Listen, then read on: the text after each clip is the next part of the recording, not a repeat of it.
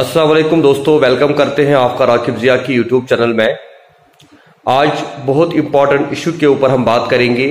That is जो कल university of Kashmir की तरफ़ से नोटिफिकेशन आई थी that the university of Kashmir is going to change the model question papers for UG and PG exams यानी जो भी स्टूडेंट्स यूजी और पीजी में एडमिशन उन्होंने लिया है, उनका जो पेपर का पैटर्न है या जो पेपर का मॉडल है, वो चेंज होगा।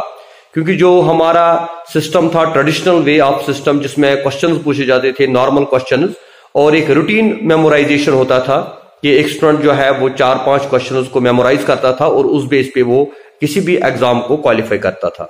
और इस वजह से हमारा जो एजुकेशन सिस्टम है, जिसमें काफ़ी शिकायतें आ रही थी, कि इसमें क्वालिटी का कहीं पे दखल नहीं है कि एक बच्चा न कॉलेज अटेंड करता है, न किसी की टेक्स्ट बुक को पढ़ता है, बल्कि कुछ नोट्स इधर उधर से लाके चार पाँच क्वेश्चन जो है मेमोराइज करके एग्ज़ाम को क्वालिफाई करता है।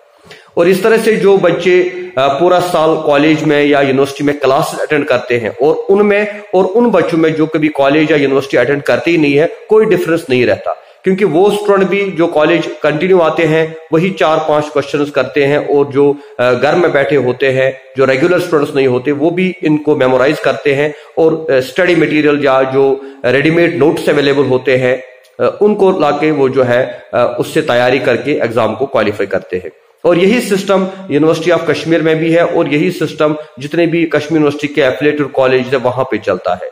लेकिन अब हम vice chancellor doctor Nilofar Khan का बड़ा शुक्रिया अदा करते हैं कि कल उन्होंने ये मीटिंग बुलाई और उसमें एक्सपोर्ट से ये ओपिनियन जो है विद इन वन मंथ कहा गया कि आप एक मंथ के अंदर अंदर जो है अपना रिपोर्ट दें और जो मॉडल पेपर्स होते हैं, उनको चेंज करें। और इसमें ज़्यादा अप्लाइड नॉलेज की तरफ़ जो है, ज़्यादा तवज्जो देनी चाहिए। यानी सिर्फ़ सिंपली क्वेश्चन नहीं पूछने चाहिए, बल्कि एक बच्चे को इवेलुएशन इवेलुएट करने के लिए डिफरेंट क्रिटिकल क्वेश्चंस किए जा सकते हैं। तो अब ये मॉडल पेपर तैयार करना है। इसके लिए कमेटी बनाई गई है जो विद इन वन मंथ जो है अपना रिपोर्ट सबमिट करेगी और उसमें जो रिकमेंडेशन होंगी तो उस बेस पे अब इस साल से जो है पेपर उसका पैटर्न चेंज होगा। लेकिन वो कमेटी कब आती है, कब वो अपना रिपोर्ट देती है, मेरी गुजारिश है, जितने भी हमारे स्टूडेंट इस वक्त कॉलेजेस में यूनिवर्सिटीज में एडमिशन उन्होंने लिया है या जिनके क्लास वर्क चल रहे हैं, उनसे मैं फिर एक बार ये गुजारिश करता हूँ कि आप अपने क्लास का जो लेक्चर है, उसके ऊपर फोकस करें। क्योंकि जो चीज़ आप क्लास में सीखते हैं, वो कहीं पे आपको नहीं सिखाई जाती। इसलिए जो रेडीमेड नोट्स आप इधर उधर से लाते हैं, उनको छोड़ दीजिए, बल्कि टेक्स्ट बुक्स को पढ़िए और क्लासेस को अटेंड कीजिए रेगुलरली इनको जो है, अपनी नॉलेज को इंक्रीज कीजिए, ताकि कल अगर एग्ज़ाम में किसी भी किस्म का कोई क्वेश्चन आपसे पूछा जाएगा तो आपको कोई परेशानी ना हो। क्योंकि जो ये मेमोराइज करते हैं ना, आप चार पाँच क्वेश्चन आप कहीं से गेस्ट लेकर, या कहीं से आप नोट्स लाते हैं और उनको मेमोराइज करते हैं।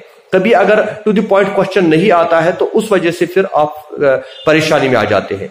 लेकिन अगर आपका कंसेप्ट क्लियर होगा तो फिर एग्जामिनर कोई भी क्वेश्चन पूछे, आप उसका आंसर दे सकते हैं।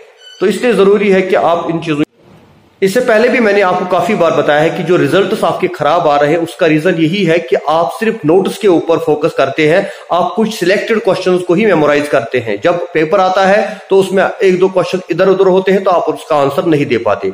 तो मे भी अगर इस साल से पेपर का मॉडल डिफरेंट आया तो उसमें आप और परेशानी में आ सकते हैं। इसलिए आज से ही आप अपनी स्टडीज़ के ऊपर फोकस करें और जो कंसेप्ट है उनको क्लियर करें टेक्स्ट बुक उसको पढ़ें और खास तौर से अपने कॉलेज या यूनिवर्सिटी के जो टीचर साहिबान आपको पढ़ाते हैं, उनसे ज़रूर आप जो है कंसल्ट करें, उनकी गाइडेंस काफ़ी इंपॉर्टेंट है।